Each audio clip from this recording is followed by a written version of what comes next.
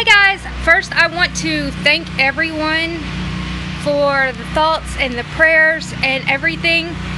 Um, this video is going to be short and sorry it's loud, but we're not going to have electricity for three to nine weeks. So it was, they were saying four to six weeks, four to nine weeks, uh, and that's most of southwest Louisiana.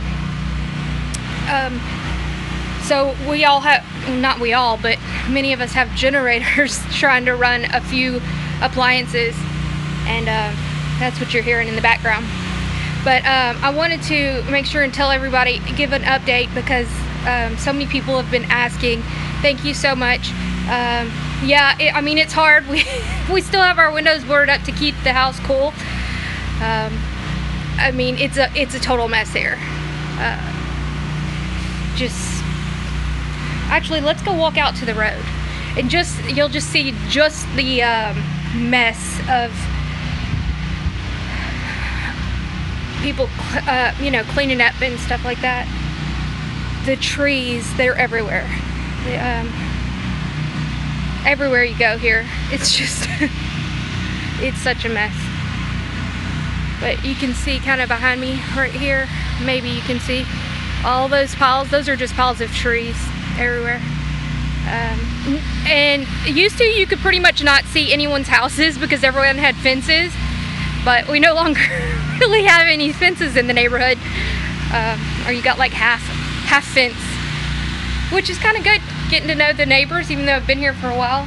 Some of them are kind of snobby just saying. But you can see over here that used to be a fence right there. It's still laying on the ground. Um, some people still haven't came back yet. Uh, for one reason or the other they haven't been able to make it back or they just don't have a generator or whatever the case may be. I mean, a lot of people aren't back. They're staying at hotels or whatever. But it's it's a big mess, but we are making it through. And oh, I saw the fires going on in California. It's horrible. It's pretty biblical what's going on, honestly. I think a lot of people are seeing that, so make sure well, you couldn't really see anything behind me. I saw that whenever I was editing this. So here's some of my old neighborhood. it's so bad.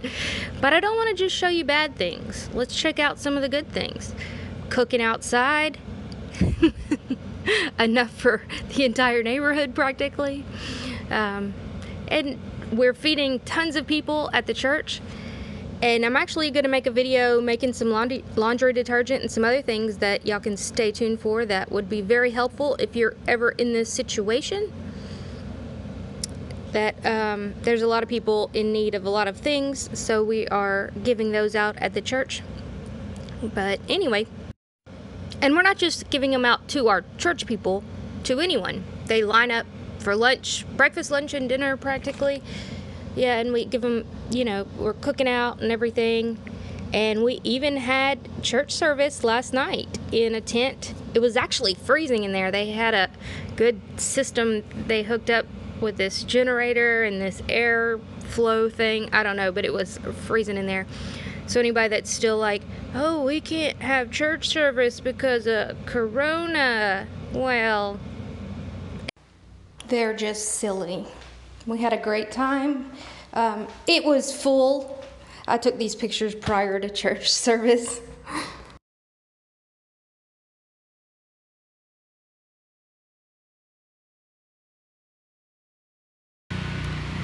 Well, let me get back to taking my laundry down off the line and I will hopefully talk to y'all soon. We just got internet back. Well, we have it for now. Uh, it, it's it's very slow, it's very in and out, but um, I will try to keep y'all updated. And again, thanks again for all the thoughts and prayers. Y'all have a wonderful night. Bye, guys. This is actually the church after the damage part of it, and just some people lost everything, and that's why we're getting so many supplies and people without electricity they can't cook so we're doing the big barbecues and everything and then helping people get certain supplies so if you would like to donate that would be absolutely amazing here's a little drive through of the town my parents live in where I grew up. Um, it's just a complete disaster. But um, people are in need of a lot of things, and FEMA is completely screwing up everything, like always. That's why I kind of find it funny when people are like, FEMA's gonna lock us up in cages. FEMA can't even control a hurricane disaster. Let me just tell you, anybody that's been through a disaster knows that FEMA is not as capable as we give them credit for. Would they love to be able to control everything? Of course. But do they? Absolutely not. They're too worried about funneling money from one big corporation to another or some crazy crap behind the scenes. They just like people to talk about that kind of stuff to keep people scared. But it, it's not FEMA helping people. I mean, they're, they're around, but let's be honest, it's the small businesses, it's the churches, it's mainly the churches that are helping people. And that's another thing. You know, people talk about churches and, oh, you don't really need a church. Oh, that's just all of these things. During a disaster, I promise you, you will start thinking otherwise because practically the only people handing out food and supplies are these small hometown churches. No, not the mega churches. I don't we don't have any mega churches, but as we saw in Houston and New Orleans and all these other places, it's never the mega churches. But we all know that.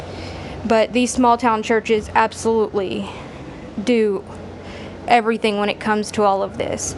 So, you know, I just have a lot of people that are always saying that, oh, I don't need to go to a church and I just read my Bible, whatever. Well, there's other reasons for having churches and that's part of what the church is supposed to do. It, it's supposed to be there for the community, um, helping and doing without expecting anything in return. And that's just what we are to do as Christians. And I think a lot of people forget that because, what you know, it's understandable. So many of the churches have become complete abominations. But that doesn't mean all of them, y'all. Um, and that's why when people ask me, you know, what kind of church should I attend? Always, I always say an independent, small hometown church. Always. Um, obviously, a biblical church, but um, never a mega church. The even the ones that seem that like they're good, they're usually very. You, you can't make it to the top of anything without being controlled in some form or fashion. Um, and we see that with John MacArthur. I know people don't like to hear that, but um, that's just a fact. You don't become a mil. You, you should. Okay, I'm not going to go on on a tangent, but uh, I just wanted to talk through this. Uh, this destruction zone. But anyway, y'all have a wonderful day. Like, share, and subscribe.